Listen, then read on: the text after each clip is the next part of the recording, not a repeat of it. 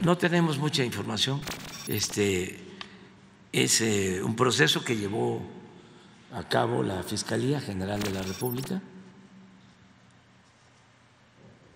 Ya era una investigación de tiempo atrás, no tanto porque en los gobiernos anteriores no se habían presentado denuncias sobre estos hechos nuevos.